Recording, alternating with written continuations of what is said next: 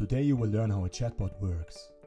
In case you haven't already, subscribe now, so you won't miss any more short informative tech videos like this one. Let's go. A chatbot interaction begins with you as a user. You communicate with a chatbot via user interface, which could be a website, an application, a messenger service, or your smart device. Your voice is processed via so-called automatic speech recognition, which is a complex challenge of artificial intelligence. What basically happens is that the microphone captures the sound waves of your voice. Then, those sound waves are digitalized, filtered, and transformed into a specific sequence. Afterwards, the sound properties are assigned to phonemes via so-called hidden Markov models. These phonemes represent differences within a spoken language that cannot be further differentiated. Numerous words can already be formed by combining individual phonemes. By linking individual hidden Markov models, a representation of the entire speech input is created, meaning that in the end, our automatic speech recognition transforms the speech signals into digital text. Then, the chatbot needs to actually understand the digitalized text representation of our speech input. This is done by a so-called natural language understanding. Natural language understanding basically consists of two steps. First there is the parsing step, where the input is analyzed in terms of syntactical correctness.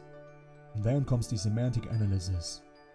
Here, the information generated during the parsing process is used to actually understand the user input. The semantic analysis is normally done via deep learning, which is another sub-branch of artificial intelligence. I'll make a separate video about this topic in future. The information obtained is then passed to a conversational engine. This engine decides how the chatbot should react to a user input. It is connected to a backend. This backend could be a simple database where the chatbot retrieves information from, but also the internet, interfaces, or other application systems which enable it to actually perform tasks independently depending on the user input. After the database has been determined, the output of the chatbot must be created. To do so, software is used that generates natural language. This is also called natural language generation. In general, natural language generation can be divided into six steps. First, the software has to decide which information of an existing dataset is to be used for generating a response to a user input. Next, the sequence of the response is determined, meaning that for instance, first general and afterwards specific information is mentioned.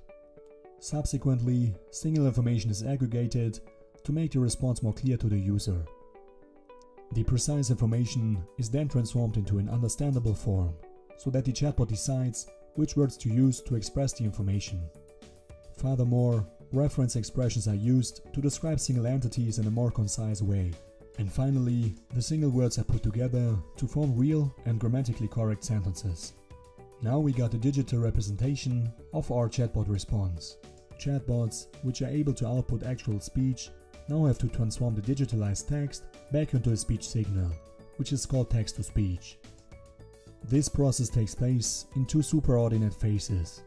In the first phase, the text is prepared for speech output.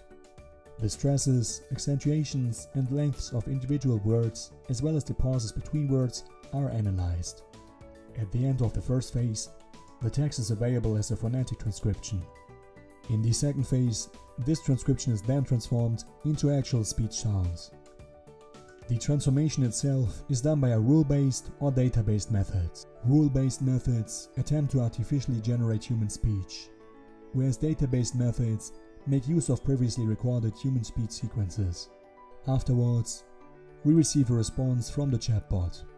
All of what you have seen is done in seconds, if not milliseconds. By the way, the steps of automatic speech recognition, natural language understanding and generation, as well as text-to-speech also summarized under the term natural language processing. Now you should have a pretty good idea what the chatbot is about. Thanks a lot for watching till the end. If you like this content, please subscribe to my channel to not miss any more videos. See you next Sunday.